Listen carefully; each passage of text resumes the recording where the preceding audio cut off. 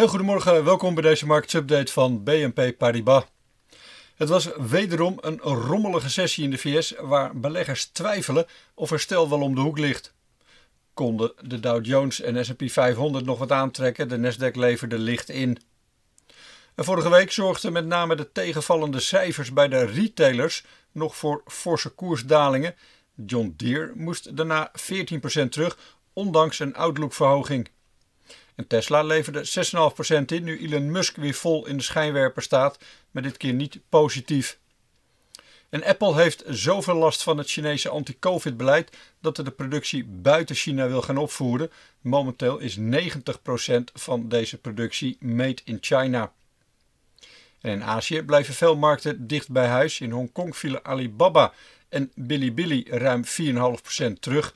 Dang Seng leverde uiteindelijk 1% in. De Nikkei kon juist 0,8% aantrekken.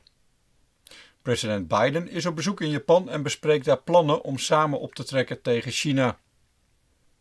Futures in Amsterdam duiden ondertussen op een fors hogere opening. En naast dat er deze week weer veel op de macro-agenda staat, zal er tevens nog aandacht zijn voor het World Economic Forum in Davos.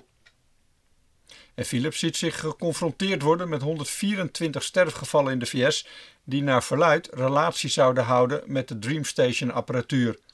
Het is een duidelijk signaal dat het bedrijf nog lang niet verlost is van deze slepende zaak. En Siemens Energy bevestigt dat het 18,05 euro biedt voor de resterende aandelen Siemens Gamesa. Het bedrijf houdt al een 67% belang en wil de producent voor groene energie oplossingen van de beurs halen. Op de agenda vandaag IFO ondernemersvertrouwen uit Duitsland en Chicago Fed Index uit de VS.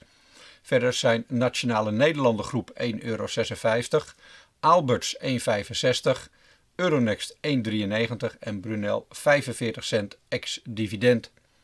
Bij de analisten zet JP Morgan ASML op kopen, koersdoel 780. JP Morgan zet Philips op houden, maar nog wel een koersdoel van 26,50 euro. En JP Morgan zet Proces op kopen met een koersdoel van 69,40. Liberum tenslotte zet Air France KLM op verkopen met een koersdoel van 3,50 euro.